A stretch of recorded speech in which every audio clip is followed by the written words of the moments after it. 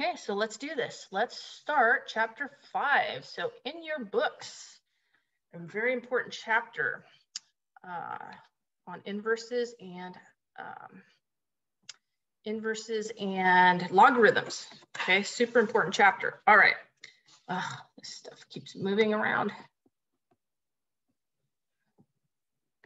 Okay, so let's, um, so we're today we're gonna talk about inverses. How can I undo a function? Okay, how can I undo a function?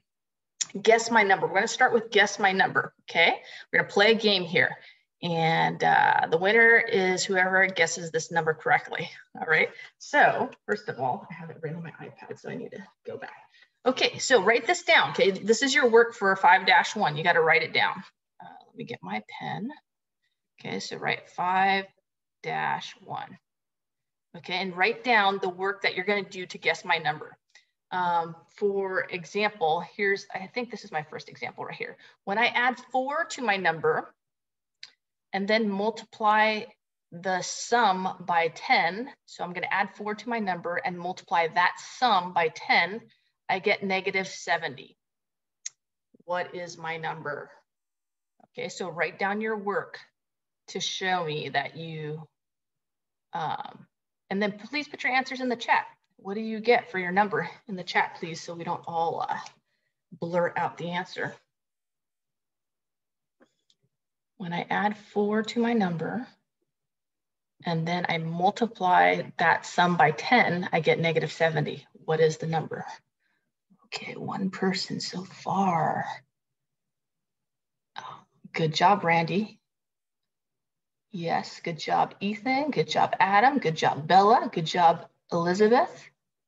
Good job, Sophia, Sierra, Mateo, Kailani, uh, Nala, Kyle. Good job, Ari, Grace, Lexi. All right, guys, good job. You got negative 11.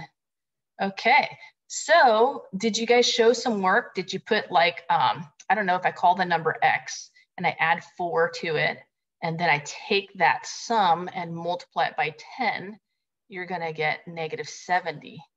So maybe you did the reverse to solve this. So I would like divide by 10. Or maybe you did this in the he your head and you did different, and you got uh, negative seven for this part is equal to x plus four. So then you needed to subtract four. However you did it, uh, if you got negative 11, super. Okay, there are many different ways to think of this and do this. Okay, you guys ready for the next one? That was great. You guys did a great job. So let's put uh, part B here. Here's the second one. Guess my number.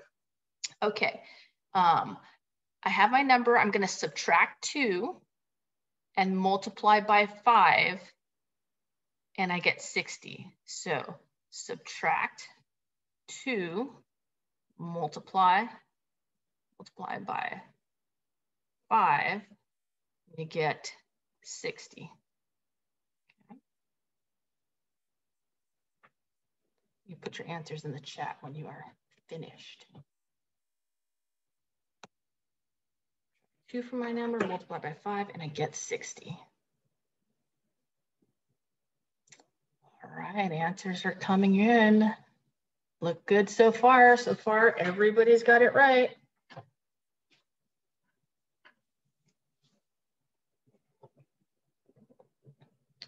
Good job, people in the chat. You got 14.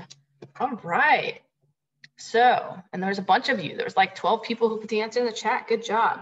So if you take your number, you subtract two and you multiply it by five, take that uh, difference and multiply by five, you get 60. So it equals 60.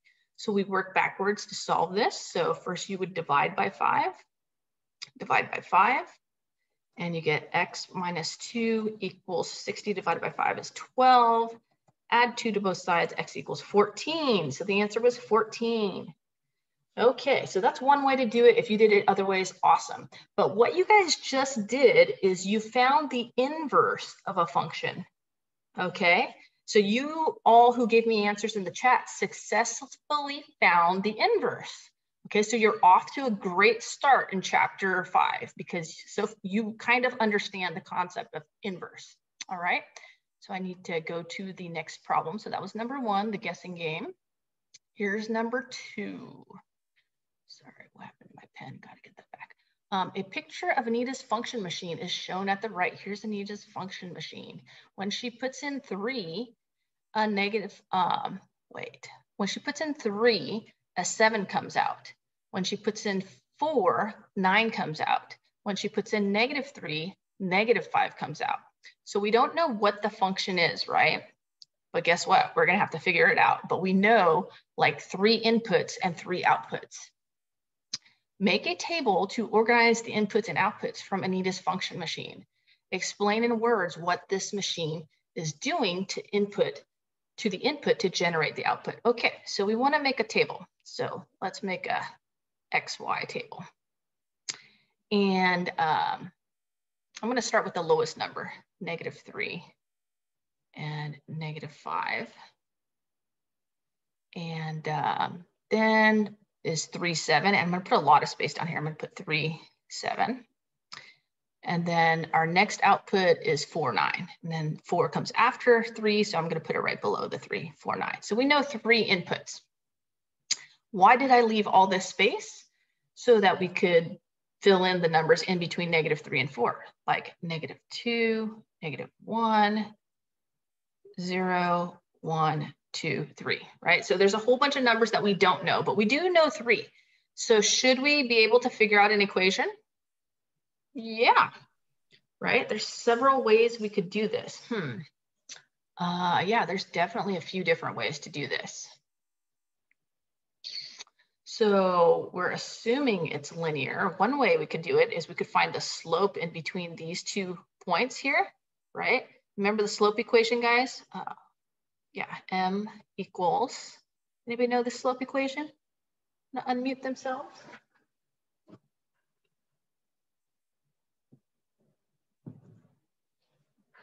Oh, somebody put it in the chat. Let me check the chat. Rise over run. Right. So how do we calculate the rise over run? y2 minus y1 equals, well, sorry, divided by x2 minus x1. Right. y2 minus y1 over divided by x2 minus x1, right? Good. That's the slope. And I think somebody in the chat put how much it's changing. So for the slope, we subtract these two, right? 9 minus 7 over 4 minus 3. So it's changing this, remember, this is my delta Y over my delta X. That's your rise over run, which you just said, the rise over run. So nine minus seven gives me two and the run is one. So it goes, that means it goes up two over one every time, right? Up two over one. So that is our slope. Our slope is two. Well, our equation, our slope intercept form is y equals mx plus b. We just found the slope, m, right? The number in front of the x. So we just need to find what b is. So isn't also, isn't b our um, zero term here? Okay, so don't I have a bunch of x and y's? So can I plug in an x and y and the m and then just solve for b? Right, this is one way to do it. We could just, you know, say, hey, the numbers might be going down by two and subtract two and see if that works. So um, let's plug in an X and a Y. Let's plug in, um, I don't know, let's just plug in the three and the seven. Okay, so starting with Y, seven equals the slope two times our X3 plus B. Right, seven is your Y, two times three. So this is six. So seven equals six plus B. I'm gonna minus six from both sides. And I'm gonna get B equals one. Okay, so that means this, our B is when X equals zero. Um, that's our B value. So, so it's one. Let's see if these, do these go down by two over 10? Well, let's see what the equation is. So if I plug it back into Y equals MX plus B, okay, Y is gonna be Y, any Y value. M is two, X is any X value, and our B is one. So this is our equation right? If it's 2x, it means the numbers are going up by two every time. So if I go reverse and go backwards, nine, seven, five, three, one, negative one, negative three, negative five. Voila, we've finished the table. to say, and it works, right? So that's kind of like a double check. Oh, this is a definitely our equation. Okay, so our input is X, our output is Y. Input X, output Y. All right, part B, Anita's function machine suddenly start, starts working backwards. It begins pulling out outputs back up into the machine, reversing the machine's process and returning the original input. If seven is pulled back into this machine, what value do you think will come out of the top? Hmm, if so, it kind of shows you right here, right? If seven is pulled out of the machine, up into the machine, then shouldn't we get three? And can't we look at the table right here? If we have an output of seven, then our input is three. So for part B, let me um, erase some of this. I need to erase all this, guys. Sorry, I need more room. So that's what we're gonna put right down for part B. You could go ahead and write that down while I'm erasing all this. All this lovely work. Where's my pen? Okay, B. So if the output is seven, if y equals seven, then x is gonna equal three. We know that from the table and from this picture right here. Can we find any input if they give us any output? Hmm. Anita sets up her, her new backwards function machine and enters other outputs. What would you expect to come up out of the top if nine is entered? So if we put nine in the back here, what is gonna come out of the top, guys? You put in the chat.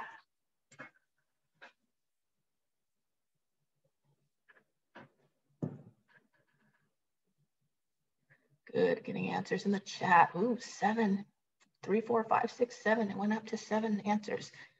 Uh, good, people said four. Good, and did you just look at the table to see that? Right, so when y equals nine, x equals four. And we could just look at the table right here. When our output is nine, our input had to be four. Okay, all right. Okay, part D. Record the inputs and outputs of the backwards function machine in a table. So we did that right here. Record the numbers being pulled back in as X and the numbers coming out at the top as Y. So, okay, so they want us basically to reverse these. Okay, so for D, I need more space. I'm gonna do it over here. On your paper, you could do it right where it belongs. So since our machine is working backwards, we basically want to put, um, we're gonna put the Y's over here and the X's over here, but we're gonna call them X and Y. So we're reversing everything, right? So I'm gonna take this table and I'm gonna reverse it. So it's gonna be negative five, negative three, negative one, positive one, three, five, seven, nine. The numbers, the inputs are now going up by two. The outputs are going to be going up by one because that's, so we're doing the X values over here, negative three, negative two, negative one, zero, one, two, three, four. Okay, so we swapped the X's and the Y's. If we're pulling the numbers from the output up through the input, this is our new input and output. We're switching the X's and the Y's right? So if I input negative five, I'm gonna output negative three. If negative five comes out here, I'm gonna get negative three over here. If I input one, if I input one down here, then zero is gonna come out on the top. And that's what this function tells me, okay? Uh, we don't find the function for this yet, but we'll do that next. Okay, that's kind of the idea of what an inverse is. We're still gonna do some more here. I gotta clear this out, go to the next slide. Uh, number three, the function machine at the right uses the function f of x equals 5x plus 2. If the crank is turned backwards, what number should be pulled up into the machine to have a 4 come out of the top? Okay. Okay, so let's write down our function first, and this is 5-3, so you want to write 5-3 on your paper. Uh, a the function is f of x equals 5x plus 2. Well, if we want 4 to come out of the top, is that our input or our output? Four is our input, right? So we can find what needs to come out of the bottom of the machine by plugging four into the function. f of four is five times four plus two. So we have 20 plus two, so it should be 22. So if we have a machine, you know, if we have a machine, we should plug in 22 to the bottom of the machine to get four to come out of the top. This is our output, this is our input, unless we reverse it. For our inverse, we'd input 22 and get four for our output. Okay, that's what the inverse is. It's the machine working backwards. Thus the term inverse. Inverse means backwards. Okay. Um, that's part A. Part B, Keiko wants to build a new machine that will undo what f of x does to an input. What must Keiko's machine do to 17 to do to 17 to undo f of x and return a value of 3? So we want to put 17 in and get 3 out, right? So basically, we need to know what this function is. Hmm, what do we need to do? Um, we need to take this number, right, 22, or y, let's call it our y value. And don't we need to like minus two because we end up adding two and then dividing by five. Instead of multiplying by five, we're gonna divide by five, right? So if I input my value, I'm putting y for my uh, output 17. So if I put 17 in here, 17 minus 2 over 5, 17 minus 2 is 15 over 5, which is 3. So the input needs to be 3, right? Let's double check that. Let's do f of 3. f of 3 is equal to 5 times 3 plus 2. Ah, 17. So yeah, I need to, so this is our inverse function right here, right? This is the inverse function. This is what we call the inverse function. How did I come up with that inverse function? It's a secret, but I'm gonna, I might tell you the secret. All right, I might tell it to you because I feel like you guys are paying attention and I might tell you the secret right now in just a second. Okay, so we had to undo the two and we had to undo the five, right? To get this inverse function. Okay, to undo a function is called the inverse function and has a notation of, so this is C, f negative 1x. We never say negative 1x, okay? This, we, we say f inverse x. This notation means the inverse of a function because a function is regularly f of x, right? That's just any function. But when you get this negative one, that means it's the inverse. These two functions are inverses of one another. This is not a negative one power, okay? Note the negative one is not an exponent. It is just a notation saying that it's the inverse of this, okay? This is not an exponent, not an exponent. So that's why we never say f negative one of x. We say f inverse x when you read this. Exponent, not an exponent.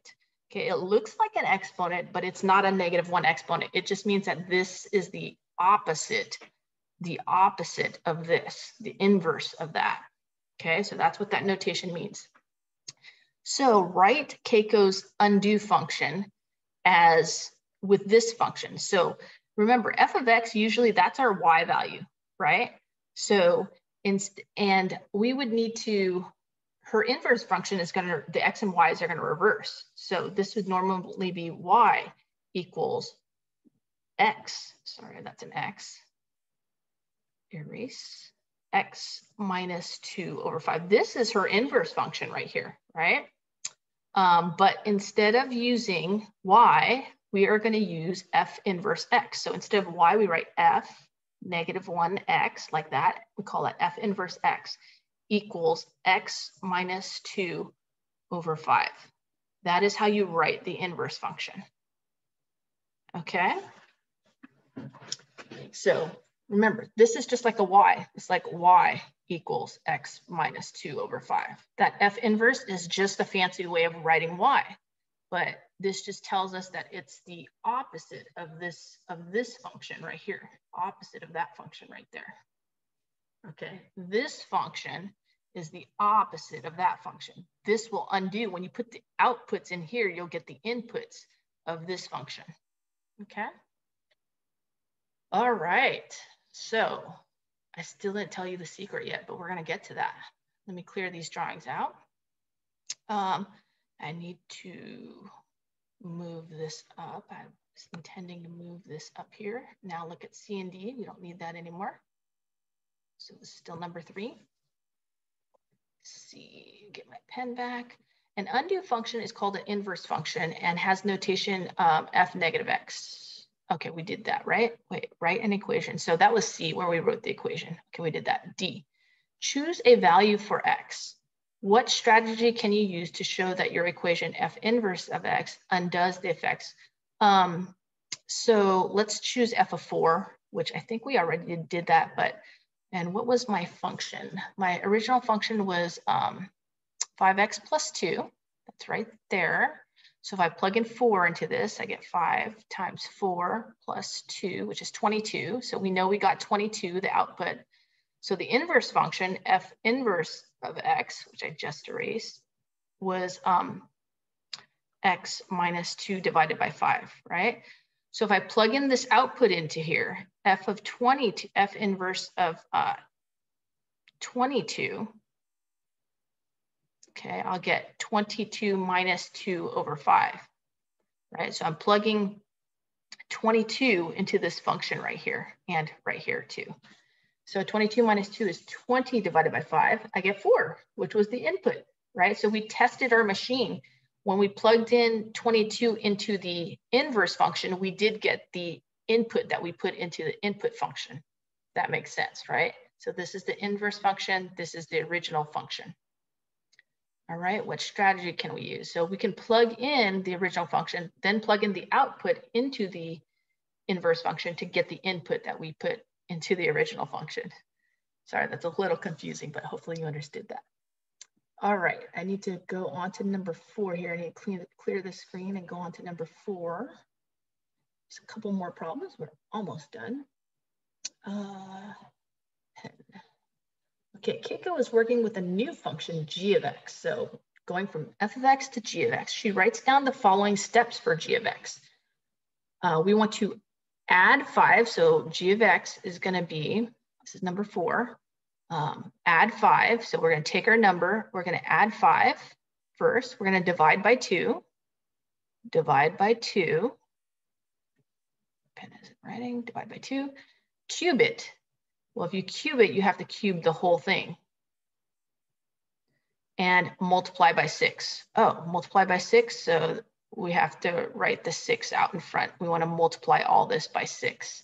That is how you would write four functions put together. Okay, we want to add five to our number, divide by two, cube it, and then multiply by six. So notice I put the parentheses in there. Okay, what is the equation for g of x? Well, we just wrote it down right there. A is 6 times x plus 5 divided by 2 cubed. Okay, what is the output when the input is 3? So let's do g of 3 would be 6 times uh, 3 plus 5, let's just say 8, right? 3 plus 5 right there is 8 divided by 2 cubed. Order of operations, we do what's inside the parentheses first. So 6 times 4 cubed 4 cubed is 64. So 6 times 64, what is that? calculator around here. I think I have it in my um, iPad, which I just shut. Let's see. 384. Okay, 384. Did this last night. I don't remember what I got, but I got, apparently I got 384 last night. So good. 384. Okay, so we input three, we get 384. So if we did the inverse, if we found the inverse of this function, we plugged in 384, we should get three for our output, okay? So let's see, do they want us to do that next? I believe so. Let me move this part up. Hope this doesn't confuse anybody. I'm moving this up. Help Kip write down the steps in words for the inverse machine in words and then write its equation. Okay. So B, in words. So if we want to do the opposite, don't we, I kind of covered what I wanted to do. Let's see, don't we need to do the reverse of all, all this. So shouldn't we divide by six, right? So get my pen back. You know what, I wanna type this. We're going to, that wasn't a good idea. It's not letting me type. Why won't you let me type?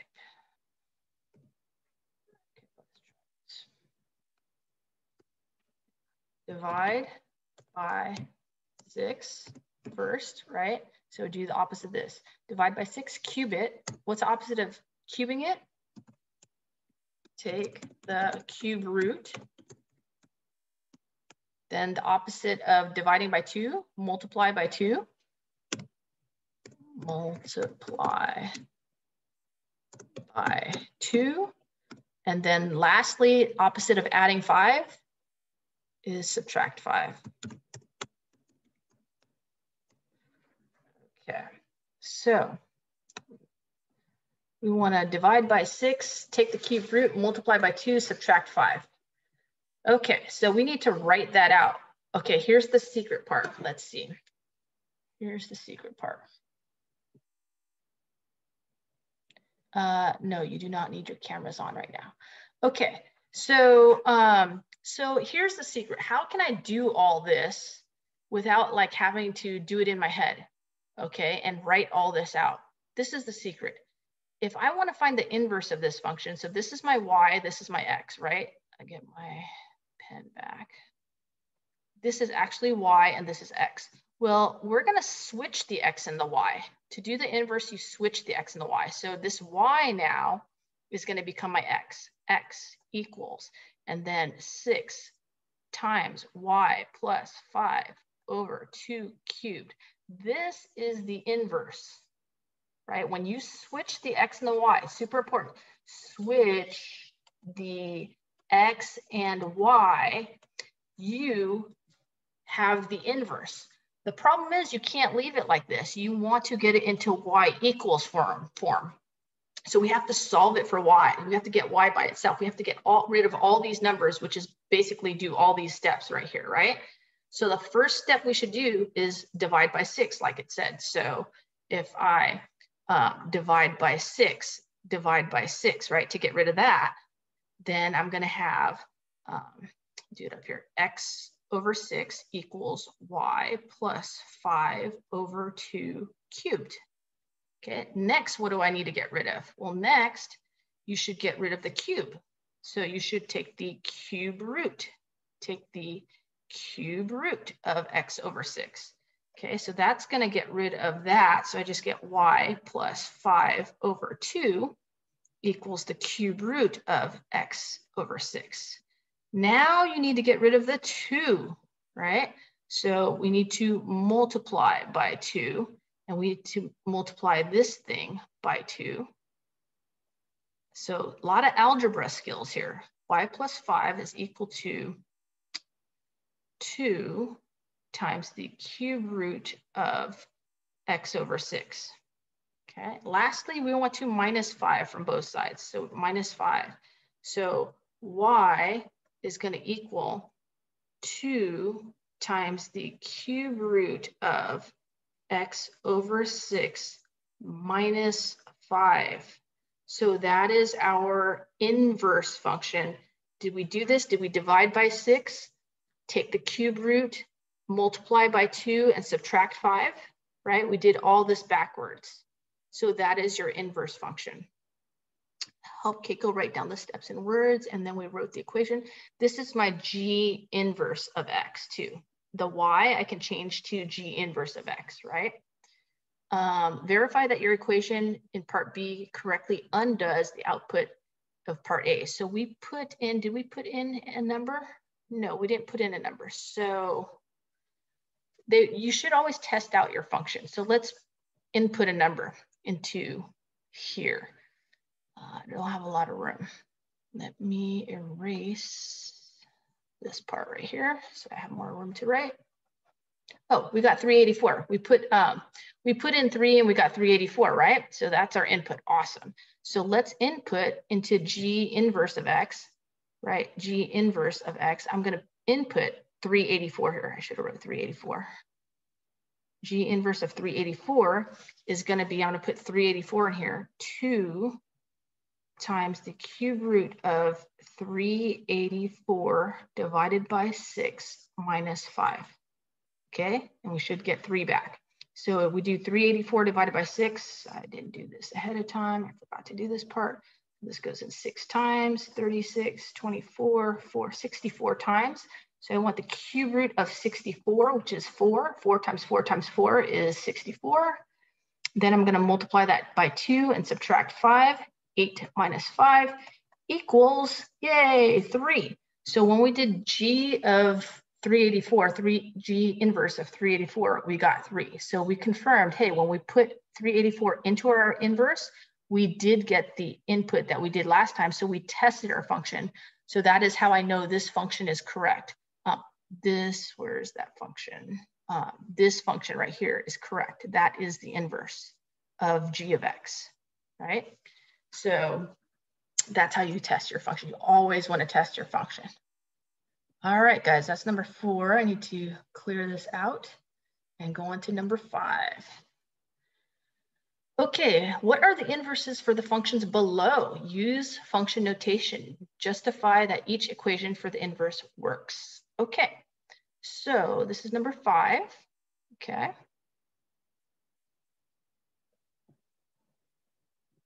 Wow, that's something to send me in an email. All right, um, for number five, uh, I wanna find the inverse of this. So um, 5-5a. So this is my function, y equals 3x minus 6. That's my original f of x function, right? To find the inverse, what do you do first, guys? Very important step. I told you the secret. You switch the x and the y. So you put the x here in place of y, 3y minus 6. You switch the x and the y, and then you solve for y. Okay, so that's how you find the inverse. You switch x and y, and then solve for y. Okay, so let's add 6 to both sides. Okay, and x plus 6 equals 3y and then divide by three, divide by three. So this is our function, our inverse function, which this is gonna be y. I'm gonna put f inverse of x instead of y, right? Equals x plus six divided by three. This is our inverse function. So can you see how x plus six divided by three is the opposite of 3x minus six? Okay, so f inverse of x, x plus 6 divided by 3 is the opposite of 3x minus 6 because you're going to add 6 and divide by 3. All right, part B. B, g of x is equal to x cubed minus 5. This is our y value. Well, to find the inverse, we switch the x and the y. So x equals y cubed minus 5. And now we solve for y, two steps get rid of the five first, add five, add five. y cubed equals x plus five. Then we need to get rid of the cubed. So to get rid of the cubed, we take the cube root. So notice we are doing cube roots now. Okay, so um, y, or this is what, g of x. So I'm going to put g inverse of x instead of y, because this would just be y equals the cube root of x plus 5. So that is my inverse function. So it makes sense, right, that the inverse of a cube is the cube root. It's going to have a cube root in it, right? The original function had an x cubed. So your inverse is going to have a cube root because those are inverses of one another. Okay, C. Um, P of x equals 2 times x plus 3 cubed. Okay. Um, okay, so this is our y right here, and this is our x. So we want to switch the two first. So x equals 2 times y plus 3 cubed. Okay, now we want to solve for y. What do you undo first? you should undo what's outside the parentheses first because we're working backwards. So we're going to undo this 2 first. So you have x over 2 equals y plus 3 cubed. So what do we undo next? Well, we need to undo that cube. So we take the cube root, cube root of this, okay? We get y plus 3 equals the cube root of x over 2. Can I go ahead and minus the 3 like this and just put minus 3? So we get y equals the cube root of x over 2 minus 3. And notice the minus 3 is outside this cube root, right? It's not part of the cube root. Do not make it part of the cube root. Okay, and since this was a um, p of x function, I'm going to change this notation to p inverse of x instead of y. That tells me it's the inverse and not the original function. Cube root of x over 2 minus 3. So use inverse notation. Okay, use this notation with the negative 1. That tells me, hey, this is an inverse function. If you just leave it y, I don't know if that's the original function or the inverse function if you leave it y, but this tells me, hey, this is an inverse of the original function. Okay, um, I need to erase this part to make room for D.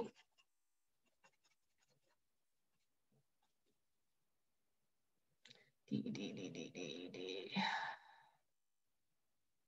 Pen back, change to blue. D says T of X. So D, T of X, which I'll just make Y, is equal to 10 times X minus 4 over 3. All right, this is just a simple um, linear equation. It's a line and we wanna solve it for, oh, I forgot to reverse them, huh? Well, I'll reverse them now.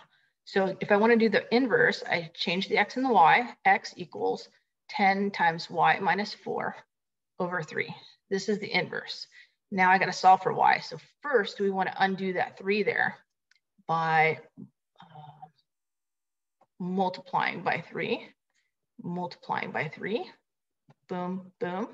We get 3x equals 10 times y minus 4. Then we want to undo the 10, so you divide by 10, divide by 10. So I get 3 tenths x basically equals y minus 4. And then we want to add 4 to both sides, add 4. So we get, instead of y, I'm going to make it, uh, what is it, t prime of x, or t negative 1 of x, is equal to, I don't have a lot of room here, 3x over 10 plus 4.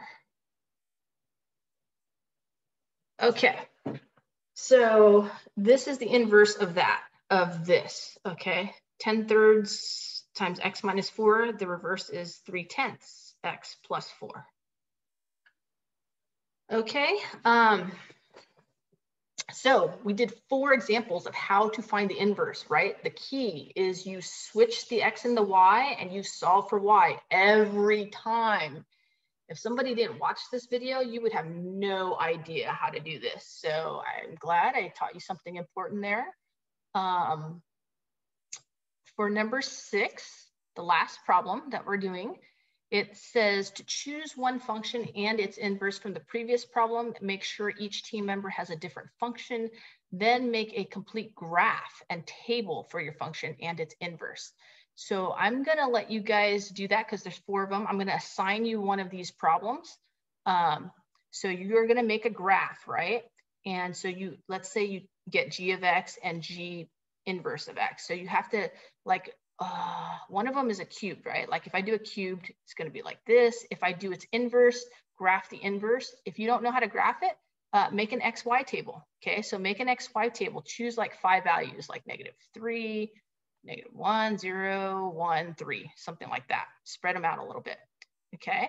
And plug them in and then to do get the inverse, you're going to reverse them, right? Put your y over here, your x over here. So you get negative three, negative one, zero, one, three, and then whatever values you get over here, you put it over here, and then graph them on the same graph. Okay, so these are the ones I'm assigning to you. I already, I pre-picked who gets what. So if your first name, we're going by first name, not last name, okay? If your first name starts with an A, we have a lot of A's in this class. We have like 10 people, 10 people whose names start with an A. If your first name starts with an A, you get to do uh, the second one, which was B, right? You get to do letter B, okay?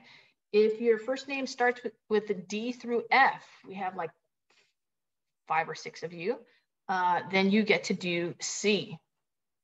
If your first name begins with the G through M, you get to do the last one, D. And for the last half of the alphabet, if your first name begins with N and we have Yael who begins with Y, there are five people, you get to do A.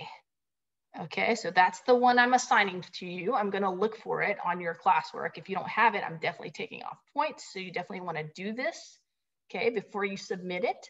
Uh, we have, we still have 40 minutes left in class, so it should not take you 40 minutes to do this one problem. Should take you like maybe 10, 15 minutes, like 10 minutes, okay, to make the graph of both of your functions. So um, you are doing either A, D, C, or B. Hopefully you've written down which one you are doing. And I'm gonna go back to that screen. So you're doing, you're graphing either A, B, C, or D, whichever one I've assigned you right here. Okay, you're graphing both of them. So you're graphing the inverse as well. So like the inverse, I don't know, let's say the inverse goes like that. It doesn't go like that, but you're doing two graphs, the, the original function and its inverse on the graph and seeing the relationship. Okay, then go back and answer the question for number six here. And uh, I have one more announcement to make, but let me pause the video before I make this announcement. Um, please don't go yet.